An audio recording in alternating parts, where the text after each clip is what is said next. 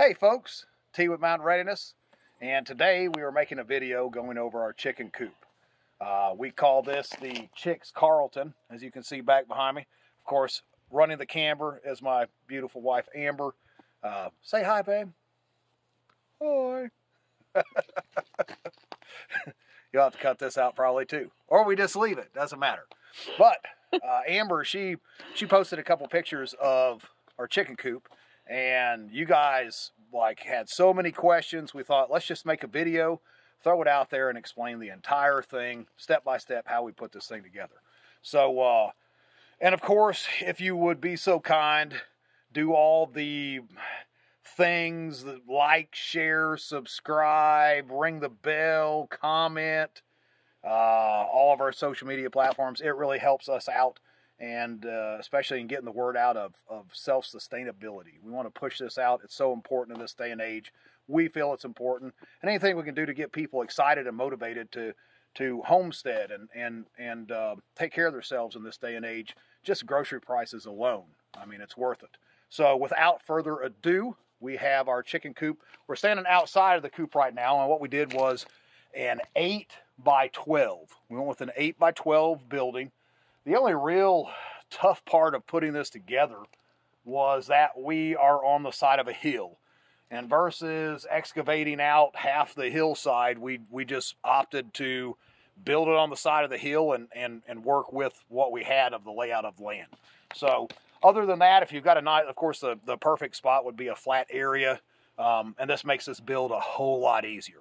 So what we did was, is we'll go inside here in a second, but outside is just uh, exterior uh, plywood. We did a 4x4 pole barn style construction and uh, soft pine for the roof.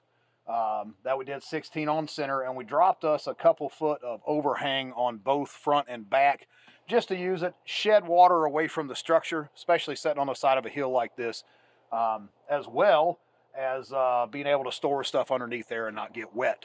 We also added some timbers across the face because we are on kind of a hill and we dropped us some mulch in here to make us some nice little walkways so we are not dealing with the mud constantly. Uh, currently is not a problem because we're a little chilly here. Um, once the, the building was constructed, we, we dug down around the base, around a foot to 16 inches, and you can see right here we installed a hardware cloth that goes down around a foot to 16 inches below the grade of the ground. Now, a lot of people say this is overkill. I personally, with the way the predators are, predators are out in this area, and if you can fan out over here, you can see around. We're a little bit out, and uh, everything is super hungry out here, it seems. So, to keep the predators from digging underneath the structure, we put this hardware cloth all the way around the entire, uh, both the runs and the coop itself. in the back, we put a little trench in and put a uh, rubber roofing up onto the backside just to help shed water off because we are on a hill and we don't want our runs and inside the coop to get wet because that's detrimental to the chickens. So let's go around back and we'll show you uh, kind of the backside of this structure. All right, so, and as you can see, um, at the very, at ground level, we dropped a 2 by 6 all the way around. That's around both of the uh, runs as well as the base of the um, framing of the coop. And that's just where we have something to attach our, our hardware mesh to and um, to secure it to the ground. Um, as you can see, we just ditched this section out. I also threw a couple tim timbers in here on the back side. And this helps shed that water off and run down the, uh, the sides of the runs instead of going inside of the run. Um, outside's pretty good.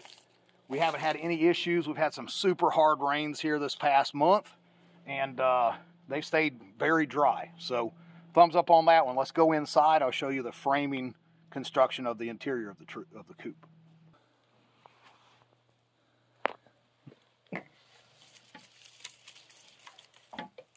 Where's he? Who knows?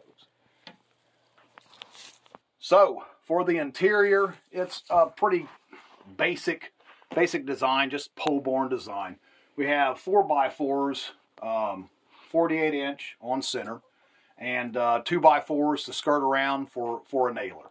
Um, We buried the post, of course, below frost line so it doesn't sink, and then put that bottom batter board on just to secure it to the ground and have a place for our hardware mesh to attach to. Um, our, our, our nesting boxes, we did 12, 12 by 12 by 12, just 12 inch square, all directions. Put a little roof on top just to keep them from flying up there. Now, I know it's controversial. We'll throw it out there.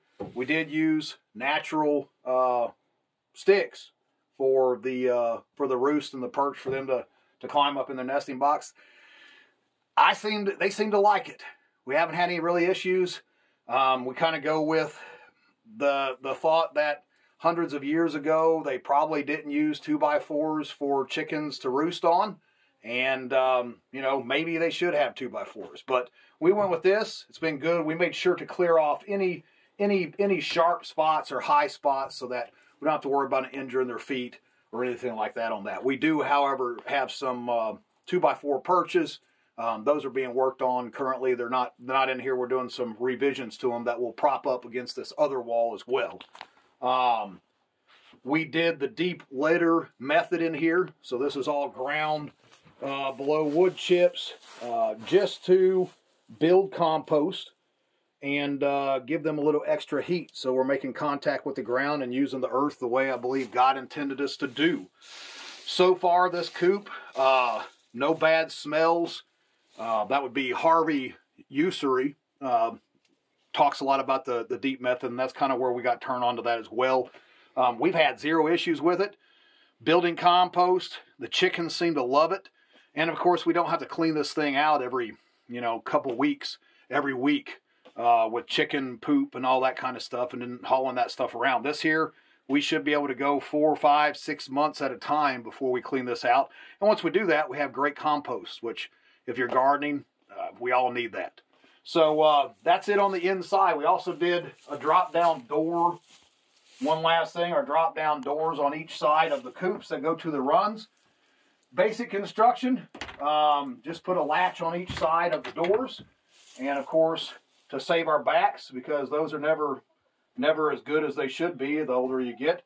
Um, we just attached a rope to them so we can come in and um, shut these things, pull the rope up, shut them, lock them all up.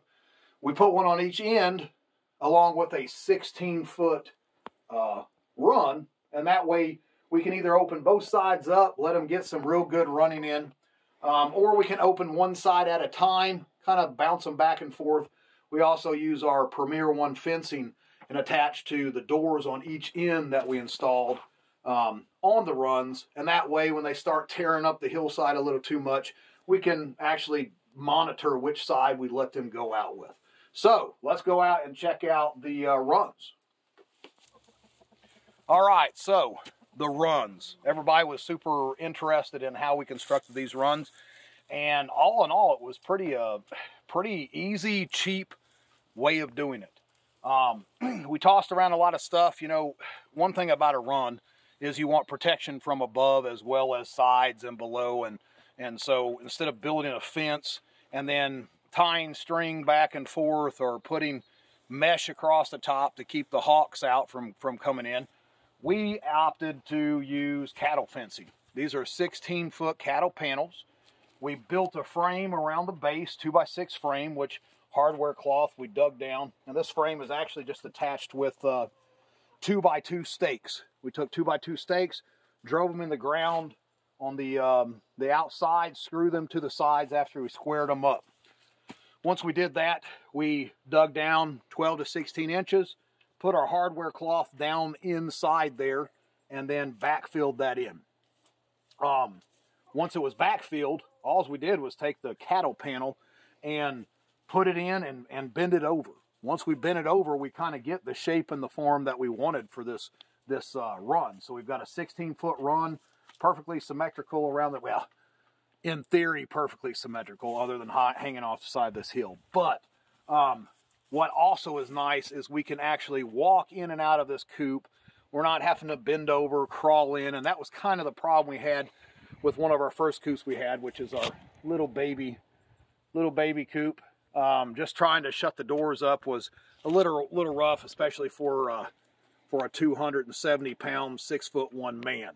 Um, this here, way better uh, alternative. I can actually walk in here, move around without bending over my and, and dipping my head and smacking anything. So um, we did cattle fence on the on the face. We basically just cut this face down and took a pair of bolt cutters and we chopped these off and folded over some ends. Um, you can see that to a degree. Some of these are folded over that we, uh, once we took our, um, our, our, our bolt cutters and then just folded those over and secured them. And we secured this whole thing with, um, these are, are uh, concrete uh, rebar ties. You can buy these at Lowe's. They come in packages of 50, 100, 500. And it's just a piece of wire that you put a hook tool in that spins. As you rotate it, it twists it up. And, um, you know, where's it going to go at this point? We actually attached them all the way along, and that's how we attached our hardware cloth. These here don't have any sharp edges. We don't have to worry about the chickens hurting themselves, running into them. And uh, we just space those out on each panel and run those all the way around uh, about every 16 inches in every direction to uh, hold this all together. The outside, we actually did a double 2x4 construction uh, sandwich, sandwiched in our uh, cattle fencing, and that's how we built our doorway. Um, instead of spending all the money for uh, pre-made doors or putting a lot of time into making a wood door, which a wooden door is always going to warp, it's always going to have weak spots and come apart, we went ahead and took a piece of cattle fencing and cut that out to make our door. We zip tied our hardware cloth to the base and now, um, come on out here, show them on the outside. Our hinges are nothing more than uh, fencing nails. So we just use a fence nail and nailed these every joint up underneath to, for support, put doubled up on each end, and then attached our hardware cloth. And then, of course, we just drove a stake to put into the ground to hold the door back. But this was a great alternative and cheap alternative to trying to take treated lumber and build a door frame and get it square. And of course, it's going to shrink, it's going to contract, it's going to expand, depending on if it's cold or hot. And it's always a pain trying to fight a door. This one here, we can secure super, super tight and all we did was did the same thing on the other side. And we have um, two fence nails that we just bent a hook and drop those in. As you can see, this thing, no predator is going to get up under there. It's going to have to fight if it can. And, um, of course, secure. And if it's bad weather, we're going to leave the house. We want them to still have some freedom. This was a great way of doing it. So, don't spend the money on all the all the treated lumber and the doors and, and, and stuff like that when you can just put your own together quick and simple. Let's go inside.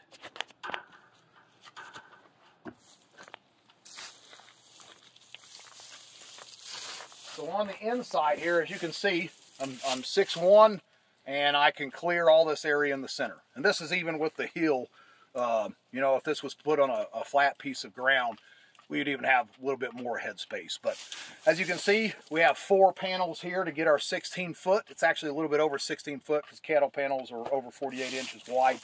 Um, and then, of course, the bottom of the panel, same thing. Every few inches, we attached them with a fence nail as well. Just nailed it right into our 2x6 board. Um, and that way there's no moving this structure. We had some ridiculous winds here, uh, 60, 70 mile an hour gusts just the other week. No issues whatsoever. Nothing come apart. Stayed stayed sturdy. Tarp stayed on. Chickens were nice and, and cozy and happy. Um, we attached it straight to the side of the, uh, the coop the same way. We, we nailed into the wall with the, um, with the fence nails. And we basically just put a ridge beam a 2x4 ridge beam all the way from the, the wall of the coop. At the center point, we braced it with two 2x4s and we drove a 2x4 around 16 inches down into the ground and then screwed it to secure this coop um, so that there's no give or movement because these just sitting on the ground or tacking them to the 2x6 it didn't work as good and we were looking for a sturdy. We were looking for 260 270 pounds to be able to uh, hang by.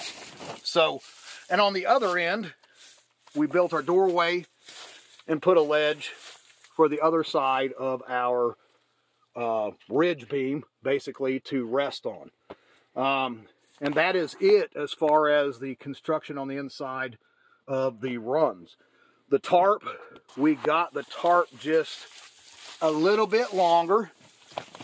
So it's a 16 foot coop. I believe this, this was an 18 foot tarp. And the reason we did that was is we folded it back under itself and we and we tucked in a ratchet strap the ratchet strap is attached at the frame on the one side, goes into the little cubby hole here where the tarp rolls over itself. It comes down, and then we ratchet strap the end to pull it taut. Now we have this super secure tarp, so no matter what, wind coming up in here, it, there's no moving. We attached it to the back side um, of the run, screwed that in there, and then we run it all the way over to the other side, and then we ratchet it up tight. This way it holds the tarp snug and secure. Any wind that comes underneath here is not, not letting this thing move around. Um, we, we put the tarp stationary on the back side of this, this run. Um, just, just because we're only going to be rolling up one side of this coop. Um, the front side, however, we installed bungees so that when the, the weather is nice, it's warm out, we can actually roll this tarp up and give them all that, that fresh air and breeze. So if you look out here, you can see how that works. So the tarp, to keep it from flopping around, we took these bungees and again, we just drove fence nails in partially around each bungee strap. And um, this way we could unhook and hook relatively easy and keep this thing from flopping all over the place with the weather in the summertime, spring and summer, we'll pop the bungees, roll this tarp up, and we have just uh, clamps, just uh, hand clamps that we can clamp this tarp down to the to the, the cattle fencing and get the fresh air moving in, and, in inside and out of the uh, of the coop. So this was, uh, I think the build total we're looking at around $2,500 all in. That is for an 8 by 12 structure, hard framed, um, with two 16 foot uh, runs. And that was all material, of course, us doing the labor. Um, with the prices of coops that they're going today, this was a great price with, with, with getting a prefab one that's dropped out here. And then you've got to set it up and you still need runs and stuff like that. So if you have any questions, drop them in the comments. like I said before, if you would, like, share, subscribe, ring the bell. Um, make sure to check us out at Mountain Readiness. We're on all the platforms, mountainreadiness.com, uh, Facebook, Instagram. I got on TikTok. I'm not sure why. You can also catch me on the Angry American podcast with Chris Weatherman, the author of the post-apocalyptic uh, book series Home. And he just finished his 12th book. Check him out. Uh, you can get his stuff on Amazon. But uh, let us know if you have any comments or questions uh, or critiques. Help us out. Make sure to tune back in. We're going to be doing a security system. We're going to go ahead and do uh, a hot wire all the way around this and wire this in uh, with our Premier One fencing. We'll catch you next time.